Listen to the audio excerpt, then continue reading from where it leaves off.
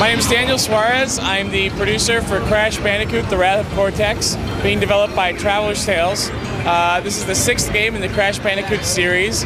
It's a return to sort of Crash's original genre. It's an action platform game. We've actually changed a lot of the dynamics from the original game to open up the world a bit more and give actually Crash a little bit more uh, freedom to move around. Uh, the basic gameplay mechanics are fairly similar. Crash still has his run, his jump, his spin, and all his signature moves. Um, we've really been able to push the power of the PS2 to add new uh, effects and new sort of visuals that we didn't have before. So this is one of Crash's new vehicles. This is one of the, a glider. Crash has got seven new vehicles in the game. He's got a glider, a mech, an Atlas sphere, a helipack, a snowmobile, and a submarine. His sister Coco's also in the game. Coco's a fully playable character. She also uses a special vehicle. She's got a mini scooter that she uses. The objective in this level is for Crash to shoot down these weather machines that are creating the tornadoes in the level. Um, the premise of the game is based Crash against the elements, and what has happened is that Dr. Neo Cortex, Crash's sort of arch nemesis, has taken control of four elemental masks, and they are basically taking control of the elements of air, earth, water, and fire. So it's up to Crash to stop them before they destroy the planet Earth. In this level, for example, Crash is fighting the different bosses from the previous game. So you've got N. Gin, Tiny, um, Dingodile, all on these sort of little fighter planes chasing after Crash.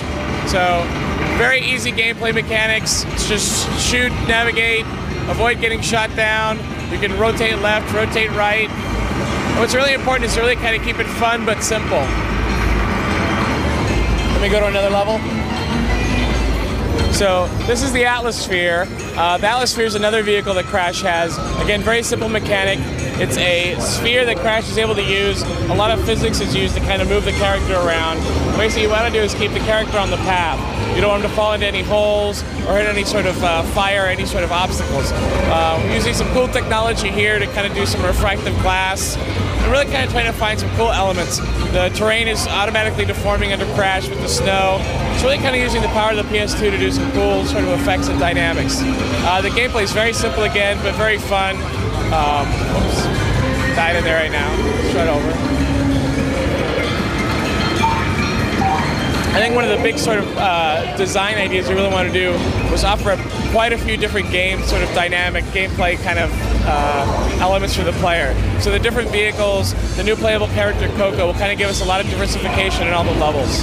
There's over 30 levels in the game, five bosses, some secret and hidden, hidden levels and sort of uh, things you can earn, uh, new moves for Crash, hidden characters, and there's also one new character for the franchise, and his name is Crunch. Uh, and that's sort of Dr. Cortex's new creation.